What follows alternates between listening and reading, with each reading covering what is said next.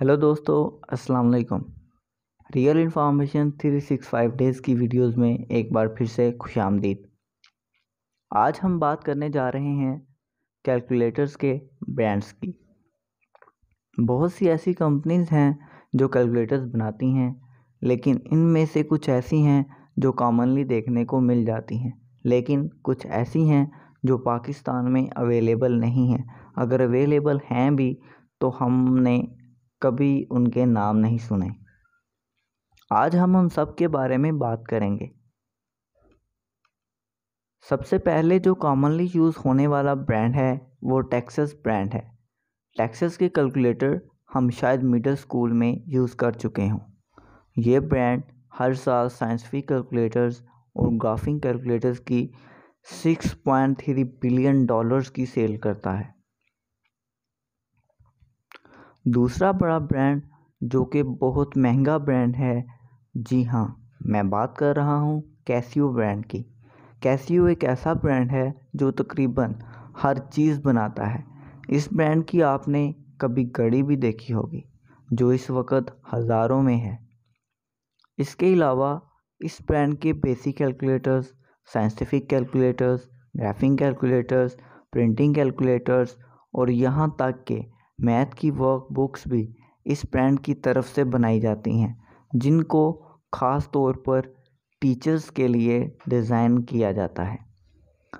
Casio 1946 में Japan में शुरू हुई और आज तक मजबूती से कायम है।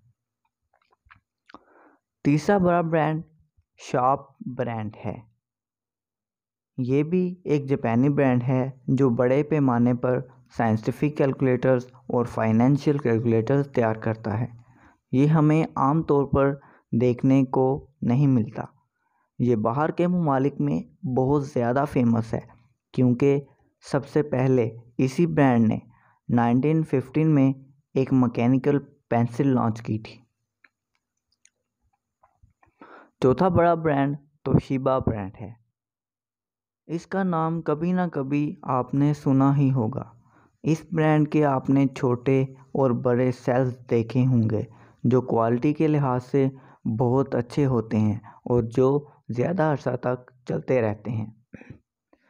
तो शिबा के hand held calculator B C eighty eighteen को Smithsonian National Museum of History में शामिल किया गया था, जो कि बहुत बड़ा एजाज़ है।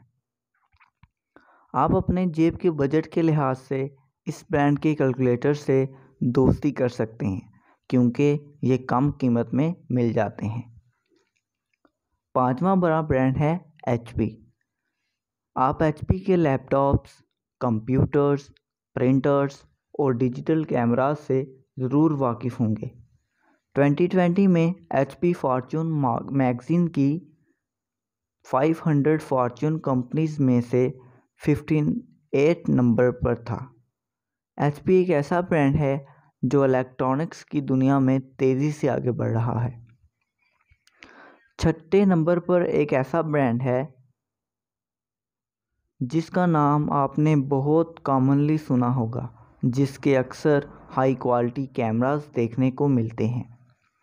जी हाँ मैं बात कर रहा हूँ कैनन ब्रांड की। कैनन ब्रांड के कैलकुलेटर्स हर उस प्रॉब्लम से दूर हैं जिसके आयरोज़ दूसरे ब्रांड शिकार हुए रहते हैं।